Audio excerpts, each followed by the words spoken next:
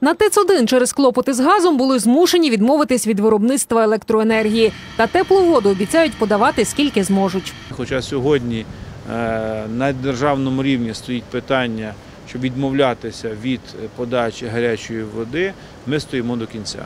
Значить, Я переконаний, що люди повинні мати гарячу воду також і літом, і взагалі в будь-який час ми цивілізовані люди.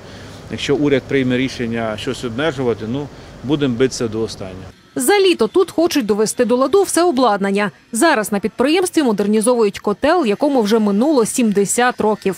Він відпрацював кілька термінів. На сьогоднішній день ми його практично розібрали повністю.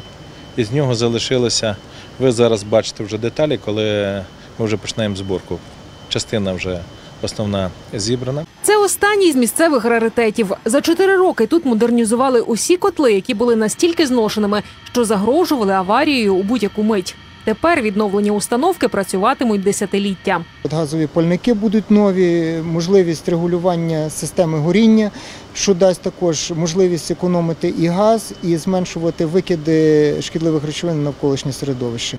Усе роблять власними силами та власним коштом. Цьогоріч дійшла черга й до приміщень, де переодягаються працівники.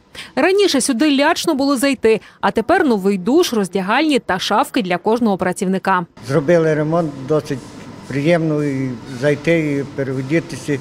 І настрій зовсім інший до роботи. А раніше було так, як в старих казармах, ще гірше.